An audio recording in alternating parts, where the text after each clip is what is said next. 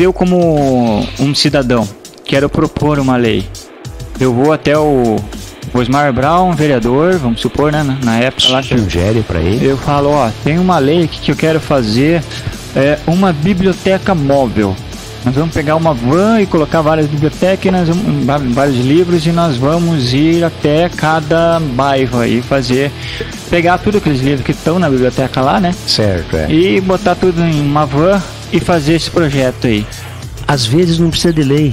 André, às vezes não precisa de lei para isso aí. Dá para ir direto no executivo. Dá, dá para ir direto no executivo. O prefeito pode criar um programa, um programa de é, tá, mas não precisa passar pela, pela Câmara? Por uma, uma, autorização legislativa, às vezes precisa, mas tem coisas assim que nem há necessidade. Se o prefeito quiser é? mandar um, um, uma van com livros lá em cada bairro, ele pode mandar, né?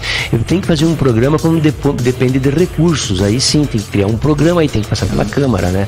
Um programa que eu digo assim é. Tem que ter a verba, onde tudo mais. Né? o né? É. Porque para você fazer qualquer coisa, o dinheiro tem que sair de algum lugar. Então, para ele gastar mil reais nessa van ali, ele vai, vai tirar da onde? Vai tirar da saúde, vai tirar da educação. Da educação não, porque esse seria um programa da educação, né?